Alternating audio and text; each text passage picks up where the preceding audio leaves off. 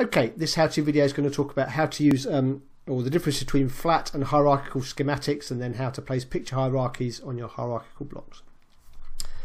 So um, if you've got a flat schematic, you already have one level of schematic folder. You will have pages in between that um, or multiple pages in that schematic folder and then you can link those pages together uh, for nets crossing it using something like an off-page connector. So um, if we were to add a net, so let's go and just draw a wire and uh, we'll just zoom in here and maybe just draw a wire.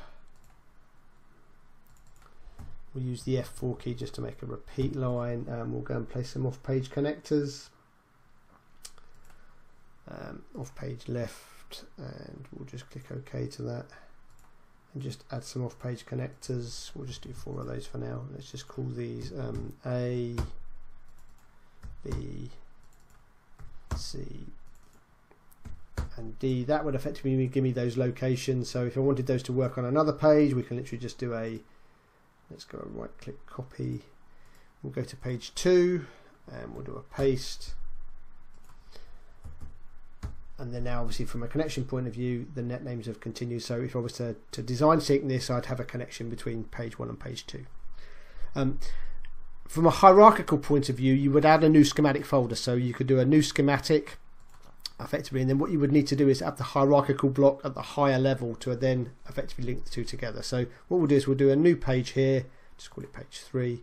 Um, and then once we're on the page, we can then go place, hierarchical block, um, give it a reference, so maybe memory one. The implementation type is tied into the schematic view because we've got schematic views here and then the implementation name it would be the schematic name of the schematic folder. So in this example I've only got one called HSRAM but if you had multiple folders here, you would see all the different folders here. So we'll pick that name there.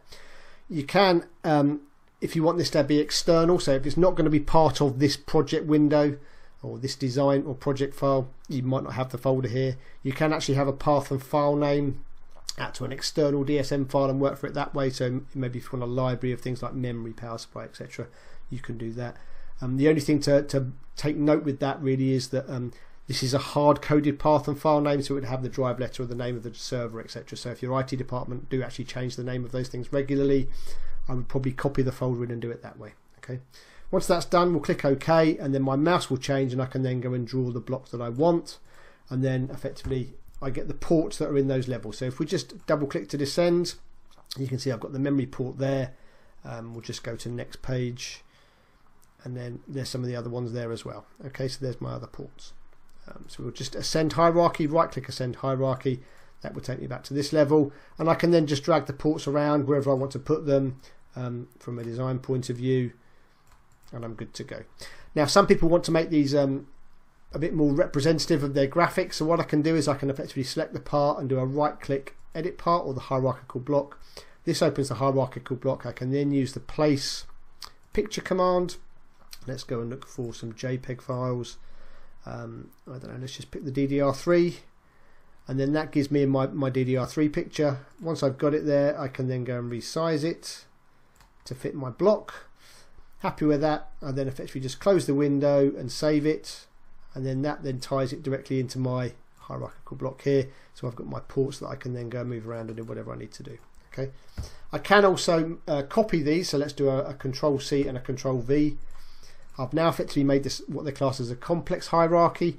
So if I was to descend into these um, effectively and look at the properties of this part, effectively this is what they class as the instance properties. If we expand this out, these are the two um, occurrence properties. So this would be for, for effectively for, for memory one, this would be for the block memory two. So you can have an annotation from that point of view when you're doing the, the complex hierarchy. You'd also find if I double click to open a page here, I get a choice of either memory 1 or memory 2, which ties into effectively the name of the hierarchical block that we added.